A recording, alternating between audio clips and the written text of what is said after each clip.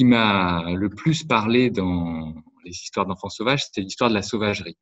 C'est-à-dire euh, la question de la sauvagerie, c'est-à-dire la question de, euh, de notre rapport à l'ordre, au normal, euh, au social, etc.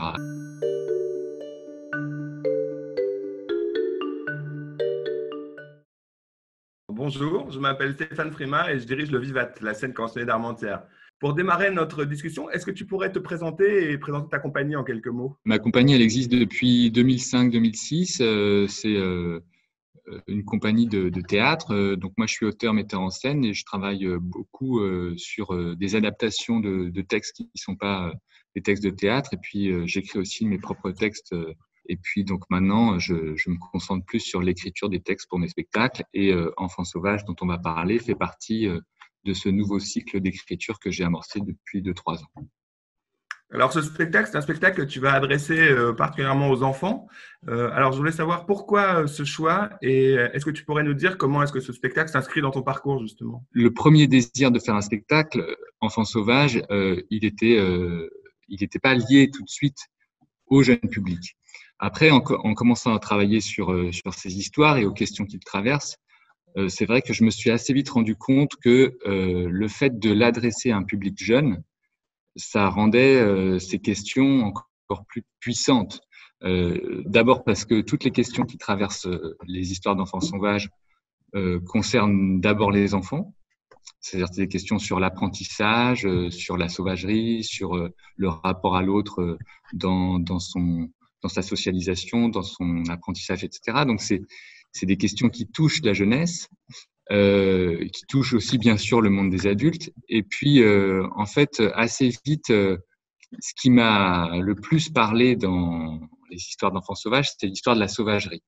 C'est-à-dire la question de la sauvagerie, c'est-à-dire la question de, de notre rapport à l'ordre, au normal, au social, etc. Et finalement, si on admet que la sauvagerie, c'est tout ce qui supporte pas l'ordre qui nous est imposé, euh, c'est une question qui est très très importante et qui est très intéressante euh, euh, chez les enfants. Alors, avant qu'il y ait spectacle, puisqu'il y aura spectacle, il y a eu un texte. Et donc, j'avais envie de te poser quelques questions sur, sur ton processus d'écriture. alors, quelles sont tes influences? Tu en as déjà nommé quelques-unes.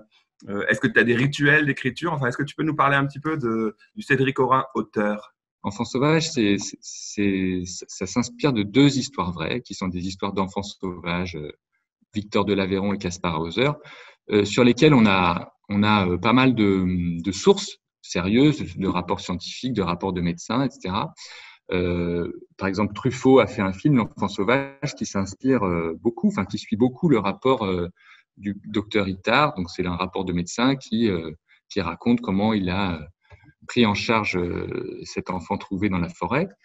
Et donc, je me suis inspiré de, de ces histoires vraies pour, d'abord parce qu'elles sont fascinantes et puissantes, mais aussi parce qu'elles donnent une matière théâtrale qui est intéressante. C'est-à-dire, ce qui m'intéresse, c'est de voir comment, à partir d'une fable qui est assez extraordinaire, mais qui est vraie, on peut glisser vers quelque chose de poétique. Est-ce que tu pourrais nous euh, dire qui tu as choisi d'inviter dans ta, ton aventure, euh, euh, comment tu as composé ton équipe, et puis surtout, je serais bien curieux d'avoir quelques pistes scénographiques et, esthétiques.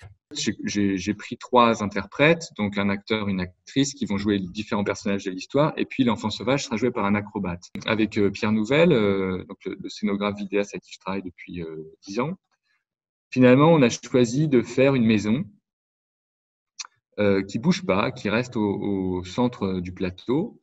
Euh, une maison euh, avec des, des pieds des, qui sont aussi des arbres, donc c'est une maison un peu forêt, et avec des toits et des murs, enfin un toit et des murs qui sont des voiles transparents, ce qui fait qu'on peut jouer à la fois à l'intérieur de la maison en étant à l'extérieur. Enfin, on peut, on peut transformer, on peut faire plein d'espace avec cette maison sans la bouger, avec des projections, etc. Donc, euh, ça correspondait bien à l'idée de faire des changements d'espace, mais en gardant quelque chose de simple et ludique. La maison euh, au lieu du confinement, hein, dans cette période que nous avons traversée. Donc, je ne résiste pas, sachant que tu devais démarrer tes répétitions euh, au printemps et que forcément, ben, le calendrier de ta création a été impacté, comme celui de beaucoup d'autres équipes artistiques. Ça m'a donné un petit peu plus de temps pour euh, préparer les choses. Et je suis tombé sur un truc assez marrant que je n'avais pas lu, c'est que le docteur Itard, qui euh, s'est occupé de Victor de l'Aveyron, en fait, c'est un, un docteur qui était un, disciple de Condillac. Et Condillac, c'est un, philosophe des Lumières qui a écrit un, bouquin qui s'appelle Le Traité des sensations. Et dans ce livre, euh, imagine un, un, homme qui serait tour à tour privé euh, d'un de ses cinq sens. Et en faisant cette étude, il en arrive à la conclusion que finalement, le sens le plus important pour l'homme, c'est le toucher. Euh, donc, je, je, me suis dit que c'était euh, un clin d'œil assez marrant par rapport à ce qu'on traversait et puis par rapport à tout ce qu'on nous demandait euh, comme geste barrière et, et, et, comme impossibilité de faire. Je trouve que c'est un, voilà, un clin d'œil assez marrant. Alors, moi, je vais former un vœu pour conclure cette, cette discussion. Donc, bah, c'est que tu trouves l'ivresse nécessaire à ta création dans les effluves hydroalcooliques qui vont traîner dans les théâtres que tu vas fréquenter. Et euh, en tout cas, euh, je, me je suis ravi de cette nouvelle collaboration. Je te souhaite bon courage et puis je te dis à très vite.